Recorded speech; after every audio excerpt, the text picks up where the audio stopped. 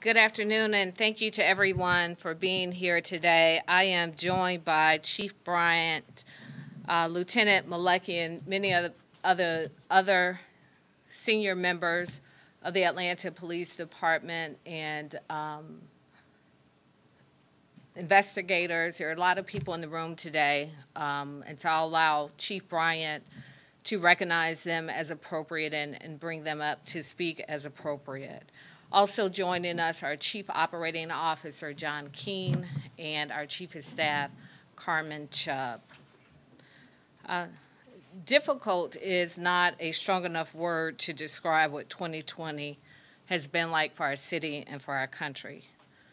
Far too many of our children have been victims of gun violence, and countless families have mourned the loss of loved ones this year mourning not just those lost to COVID 19, but to the senseless violence that we are seeing across our city and across our state and across our country. Never before have we faced a year like 2020, uh, coming together with the social justice movement in the midst of a pandemic while also navigating uh, the challenges of our national leadership. People are struggling to make ends meet. People are sick. They're watching their family members die. People are depressed. They are anxious. And they are angry. And the weight of, of all of these issues are pouring out into our streets. I do not believe in excuses, as I learned very long ago that excuses are tools of the incompetent. But I will give you the facts. I am on a text thread, several text threads, with mayors across this country. One thread has 18 mayors from the largest cities in America. And we are discussing on almost a daily basis the spike in violent crime that we are seeing in our cities. And also, we are sharing best practices and looking for ways that we can address this issue. Even one mayor has shared with me that he has a Stop the Bleed campaign going on in his city, that he's training his community members on how to stop the bleed from gunshot victims um, while they await the arrival of paramedics. This is not an excuse. This is a fact. I've spoken directly with President elect Biden on more than one occasion about the mental and behavioral health impact that the last year is having on our communities and the need that we all have for national leadership to help us address this issue. Many of you all have heard me say this, and I'll say it again. This is a city that my family has called home for the past 100 years. And God willing, it will be at least 100 more. It's the city that I am raising my four children in. I know the pain of losing a loved one to senseless gun violence. This is personal for me. As mayor of Atlanta, I will continue to do what I have done every single day of my term. And with the partnership and leadership of the Atlanta Police Department, what they do 24 hours a day, seven days a week, we will continue to make our city a better place. And lastly, despite what at times may seem to be insurmountable odds, obstacles, and challenges too great to overcome. I will say that this to the people of Atlanta. We are still standing. We will not give up. We will not cower in a corner. We will not surrender our city to people who care nothing about the lives of the children and the families that call our cities home, call our city home. So with that, I am going to call up Interim Police Chief Rodney Bryant, who will share more information on this senseless murder of seven-year-old Kennedy. Um, there will also be other members, including Lieutenant Malecki of APD, who will provide additional updates. And then I will come back to the podium and share with you uh, steps that some have been shared publicly, some have been not. Uh, steps taken by our administration to continue to address the spike in crime that we are seeing across our city. And then we will open up for questions. Chief Bryant. Thank you, Madam Mayor. Uh, I'm here today to announce that we have identified a suspect in the shooting and obtained warrants for the individual we believe responsible for the shooting of young Kennedy Maxie. My heart goes out to her family, and I give them my deepest condolences. As a father of daughters, I can only imagine what that family is going through. But more so, I can only, as a citizen of this city, as a child of this city, I can recall going to Lenox Mall as a child and going to different malls, shopping around the Christmas holidays, and the excitement that I had as a child. This family did not have the opportunity to celebrate this uh, holiday season all the way through due to the actions of an individual who came into our city and violated the peace and sanctity that we have. But as I stated in our last press conference, that the city men and women of the Atlanta Police Department will not rest until we brought this individual to justice. We have identified him, and we'll continue to work diligently to bring him into back into the city of Atlanta to serve out his justice. We never rested. I want to address the narrative that the men and women of Atlanta of the Atlanta Police Department have some kind of way reserved in acting because we have not. We continue to forge forward. As the mayor said, we are still standing. We can't do it alone. We operate in a criminal justice system. And when most of that system is not operating, the Atlanta Police Department stays consistent. Throughout every day of this pandemic, the Atlanta Police Department responded to the call. Yes, we've had some our issues. Our officers were hurt, but they still stood strong. They were still committed to this city. They still had the support of this administration, and they will forever have the support of the command staff of this police department. We will not rest. We will not allow people to come into our city and victimize our citizens. That's not who we are. But if you choose to come into Atlanta and violate the law, understand we will come after you. That is not who we are. We are one city. We come together in a time such as this. And so I thank the men, the, the witnesses, I thank everyone who participated in this. And to ensure that we bring this person to, to justice, the the, the uh, reward still stands at $15,000 with the assistance of the Atlanta Police Foundation to help bring this person into our custody. I know that you have many uh, specifics and questions that you may have. That will be answered by Lieutenant Malecki of the Homicide Unit, who's worked continuously to identify this person uh, and to be able to get those warrants to us this morning. Thanks. Uh, Yes, sir. Good afternoon. I'm Lieutenant Malecki uh, with the Atlanta Police Department's Homicide Unit. Um, As chief and the mayor just stated, I'm happy to announce um, that we have issued arrest warrants in this case. Um, I'll give you a very brief overview of uh, the investigation, and then I will let you know the individual that we have warrants on and what those charges are. So as we know, on December 21st, um, as we spoke last time, uh, Kennedy Maxie was shot um, around the area of Peachtree Road and Lenox Road. Um, Unfortunately, on December 26th, um, she died as a result of those injuries. So through just relentless investigative work, not only by the homicide unit, but by our many talented officers, detectives, and supervisors in the department. Uh, we all worked together, and we were able to identify the shooter in this case as 24-year-old Daquan Reed. So we have issued arrest warrants for Mr. Reed for felony murder, possession of a firearm by a convicted felon, possession of a firearm during a crime, and reckless conduct.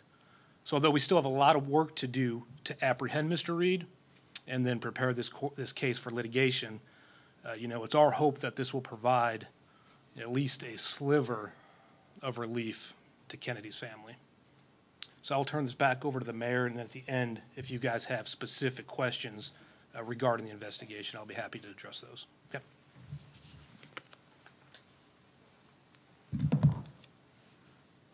Thank you, Lieutenant and Chief Bryant. And what I shared um, as we were preparing to come out in my conversation with Kennedy's grandmother, the one thing that she asked for was that we bring the people responsible for this beautiful child's death to justice. So I am uh, personally grateful, and on behalf of the city of Atlanta, grateful to the men and women of the Atlanta Police Department for allowing us to give at least that bit of comfort to Kennedy's family. I am going to give you an overview of what our uh, crime reduction plan is and, and will be. This is a work in progress.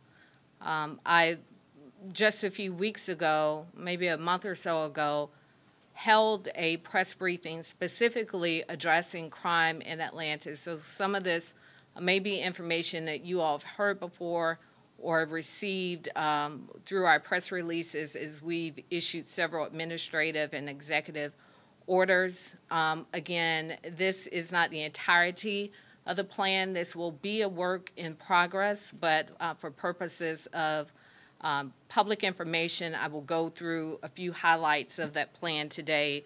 And again, thank you to Chief Bryant and to our COO, John Keene, our Chief of Staff, Carmen Chubb, and others for giving so much attention um, and effort to making this plan possible.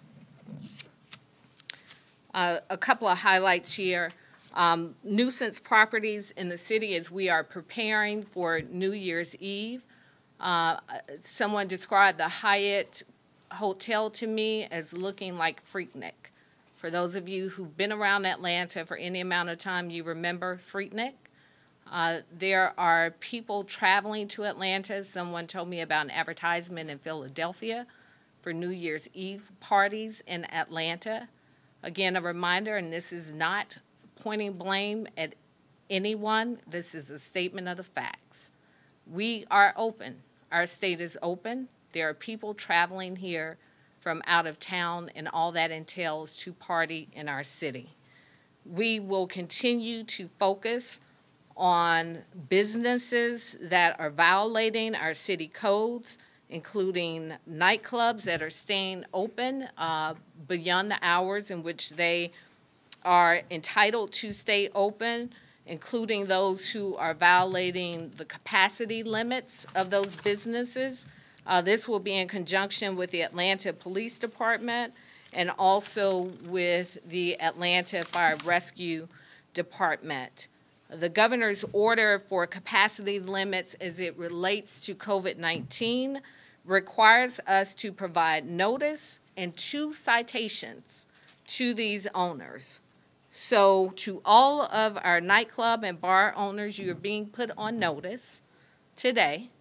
Um, to the extent that you've not received notice, I'm formally issuing notice, um, and then it will be followed by, again, violation citations, which per the governor's order has to be two uh, before we can impose fines and close businesses down.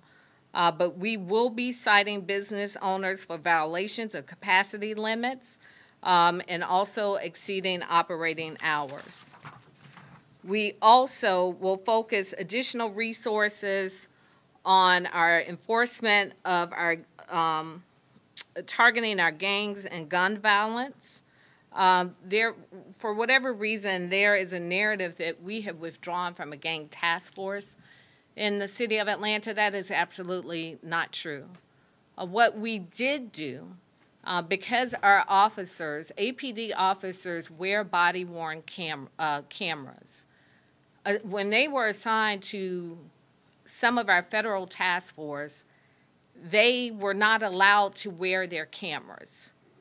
We took those officers off of those task force. As a result of that, the federal government has now changed its policy, allowing all of the, not all of the officers, but many of the officers to wear cameras when they are assigned to these federal task force. So this very bold step that we took in Atlanta has now changed the federal policy uh, regarding body worn cameras. So that is for the safety of the officers and also for uh, to help provide information on people uh, when people come in contact with these officers. We will also continue our federal partnership with the FBI through Operation Phoenix, which is a partnership to identify, investigate, and prosecute those deemed most dangerous in our city. Since that was announced, 12 violent offenders have already been apprehended. There will be targeted enforcement and investigation through the Violent Crime Reduction Team, that's known as the APEX and Gun Assault Team. Um, they will continue to target violent offenders and investigate shooting incidents. To date, those teams have apprehended over 1,500 violent offenders and removed 356 guns from our street. Many have asked about us doing a gun buyback program. Um, as I've discussed it with our law department, there are some challenges with that program, but we are we will continue to explore all of our options. Um, the establishment of the top 10 most wanted. This will continue to raise awareness of offenders in our city. Uh, since its creation about a month ago, already three people have been apprehended from that most wanted list uh, Chief or Sheriff Labat, formerly Chief Labat, from our Corrections Department, was sworn in as Fulton County Sheriff today. Uh, through partnership with Fulton County, and thank you to Interim Chief Bryant and the work with um, Sheriff Labat.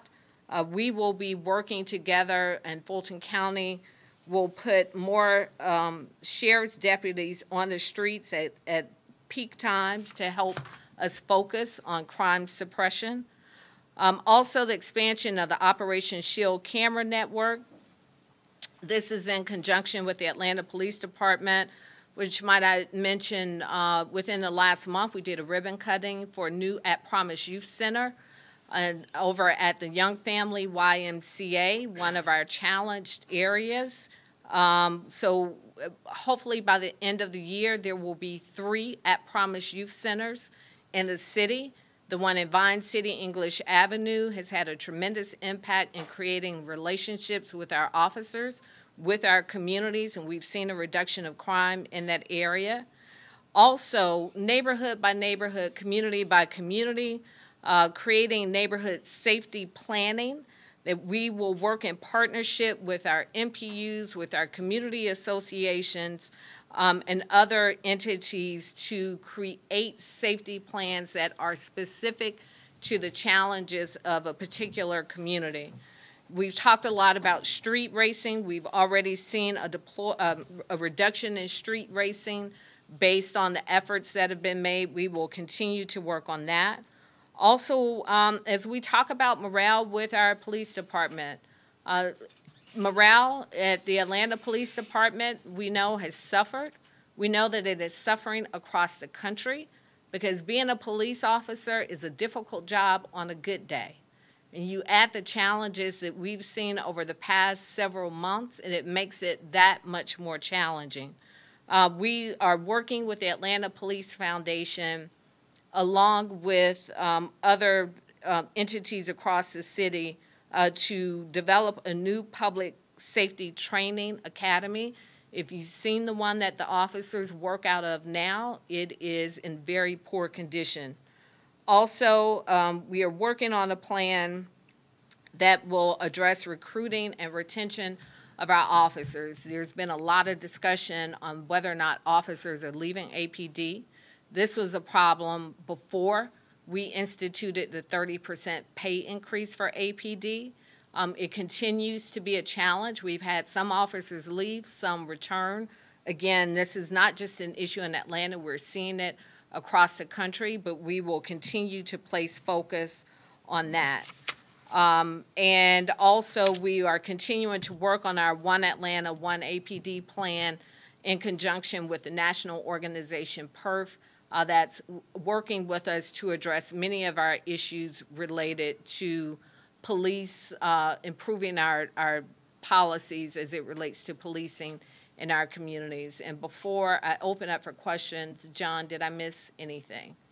All right, those are just highlights, highlights.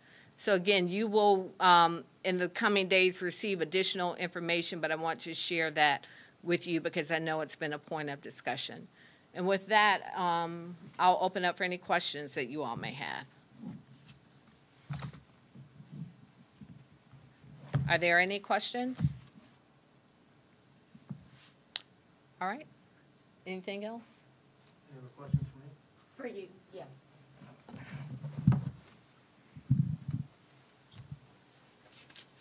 Could you walk us through what you know now about the shooting? Sure. Um, so without getting into really specific investigative um, steps that we took, um, so we know that the suspect, uh, Daquan Reed, he was at Saks Fifth Avenue um, in the parking lot. At some point, um, he became engaged in an argument. That argument ended. Uh, Daquan left the parking lot in a vehicle and, in a senseless act of rage, uh, discharged a firearm out that window and one of those rounds struck the vehicle that Kennedy was riding in. So you still don't believe that they were intended targets? So we still have, you know, a lot of investigative things that we have to do to get all the answers. But at this point, uh, my belief continues to be that no, I do not believe that they were uh, an intentional target of that shooting. How old is Daquan and where is he from? He's 24 from Virginia. Was anyone else shooting that you could tell us? So again, we still have to, you know, dig a little deeper into this. But what we believe right now is we have the sole shooter uh, who killed Kennedy. And is he aware that you're looking for him? Uh, he probably will be now. Um, Can can you talk about some assistance that you were able to get from uh, a witness? Um, so we, we did have a witness who cooperated in our investigation. Again, without going into you know too many specific details of that cooperation, I will just say that that person was uh, extremely beneficial to us moving forward as fast as we did in this case.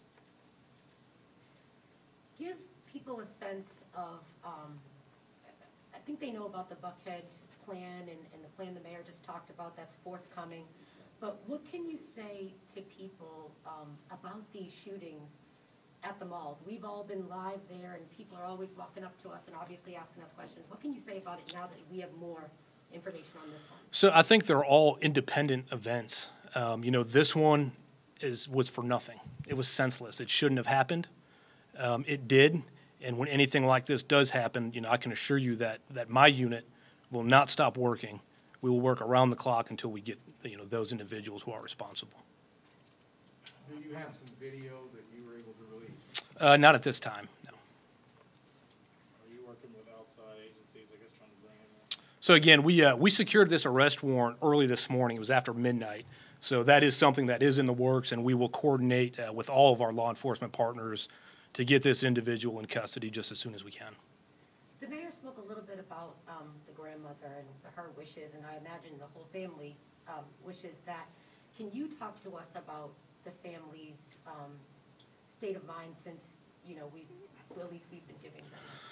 I mean, I, they're in a state of mind that anyone would expect them to be in. You know, they lost a seven-year-old baby. So you can imagine that it's, it's going to continue to be tough for them. So I think anything we can do to provide just an ounce of relief, then we're going to do it. So in terms of Mr. Reed, uh, he, uh, let's say maybe has some local affiliations. Do you know if he has a local address? Uh, uh, You know, I'm just trying to get some sense of Um, no, Is there anything here that brings him here from Virginia? Now, again, we're still investigating what his business was in Atlanta. Uh, we have not found anything that links him to being a resident of our city, and we do believe he resides out of state. My other question was just gonna be, does he have any family here, but you Again, still, uh, we're still trying to work that up, and we'll continue to work that with our fugitive unit and all of our federal partners to get him in custody. Is there a picture of him? So we, we will provide that to you guys. I believe our public affairs unit will be emailing that out to anyone who's interested. Any idea what kind of criminal history? Uh, he is a convicted felon out of Virginia, and he did have multiple cycles. Um, he was convicted on a forgery charge. That's what made him a convicted felon. Thank you, Thank you, Lieutenant. Uh, You asked a question about why we're seeing so much activity at the malls. Uh, I I wanted to be clear that during the pandemic, one of the unique thing is there's no other areas to socialize. People find themselves, there's no football games to go to, there's no high school football games to go to. There's, restaurants are minimized in the number of people that they can see. So uh, one of the things that I continue to do uh, is to go out to the malls to see exactly how our police presence and the security presence are at the mall. What I tend to find is people generally socialize in these areas. And that's a problem. Uh, and that's something that we have to uh, learn to address at, at the magnitude that people are just socializing and not shopping the way that they traditionally will do. Uh, but as uh, to to address it in the short term is for us to have add added resources. We're utilizing every technology that we have, uh, increasing the resources in that space, working with Simon Properties and the security to make sure that people continue to be safe. Uh, but again, the best response that we can have, the best assistance that we can have, is everybody working together to address public safety. If they see something that is unusual, that they get, get in touch with security or police so that we can re- immediately respond to whatever may be occurring. That's, uh, I think, will help address some of the issues that we're seeing while people continue just socialize in these, in these spaces. There's been turnover in the department this year. Talk about how you've been able to kind of keep a consistent focus on fighting crime throughout the, all the turmoil of this year. Absolutely. Listen, uh, make no mistake about it. The mayor stated it earlier that uh, law enforcement as a whole saw a significant. We took a significant hit, uh, and people left this this profession. People left our organization. So one of the things that we have to do is strengthen our partnerships uh, and, and strengthen our relationships with the community, so that public safety as a whole is responsible to address what's happening in in these areas. Uh, within the, the uniqueness of the City of Atlanta Police Department is we are the one that we are the largest police department in this state, and we can pull from additional resources. Uh, and, and, and it slows down some of our administrative processes, but we can now put those people on the street to help do what they to, uh, what they were hired on to do, and that's be police officers and provide, provide safety to the citizens that we serve. There was one question that I meant to ask, maybe you can answer. Was there one shot fired? Are you able to talk about that? There were there were. You want to talk about it, LT? Sure, there were, uh, there were approximately three, three shots fired, we believe at this point, but only one of those shots um, struck Kennedy's vehicle. And struck anything or any? Correct. Also, um, what was shared, um, we have some information, and I hope I'm relaying this accurately, that this is not the first time that this young man has been detained in our area. Not sure if it's APD that's previously detained him, uh, but he's not a stranger to law enforcement. And you asked about the family's state of mind, and far be it for me to speak for the family, but in my conversation with Kennedy's mother on Christmas Eve, she couldn't stop crying. And she said repeatedly her baby didn't deserve that. And in my conversations with her grandmother, the morning after she passed, um, they didn't even know a funeral home to call.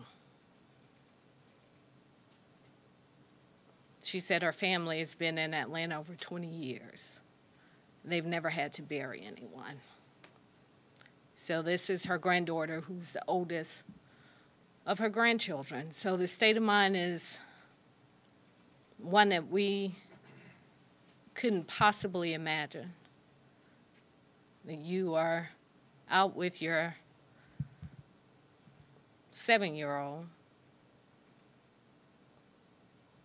The excitement of the holidays. You leave home to go to the mall, and you find yourself at a hospital at Christmas. And this is, uh, you know, in talking with the major from the zone, and I think everybody is in agreement. This is hard. This is another child in our city, not the first child. This is another child. And I had a conversation with the mother of the the boy who was out selling water, not not bothering anybody, trying to save up some money. I mean, this is these are children. And it, it's hard and it hurts and it is it is unacceptable. And I don't think there's a person in this room um, if there was anything that any of us could have done differently to have us not be here and not have that family trying to figure out how to bury a seven year old. If you could tell me something we could do differently today and tomorrow, because we were here with Secoriea Turner's family, and we're back here again. So I, I want to be clear. I know what I am responsible for in this city, and I take it very seriously, and I take it personally. And I said it when we were here this summer, and I'll say it uh, again. The if, if there's something that we're not doing, if there's something we haven't enacted, if there's something we need to do better, I, my ego is small enough to ask you to tell me what we can and should do differently because I want us to do it differently because I don't like standing here having this conversation with you all about this. I don't like it. I don't want to have to do it. I don't think anybody in this room wants to be here to talk about this. So, what I do know is APD is, is doing what they can. I do know that if there are resources that they don't have, we'll move mountains to make sure they have what they need. We're, we are working to address the systemic issues that are leading us to this point. It's not going to be an easy fix. But if there's something that we can do differently, if you know what it is, let us know. And I promise you, if it will make a difference and it will stop us from having to be here again, we'll do it. Any other questions? All right, thank you.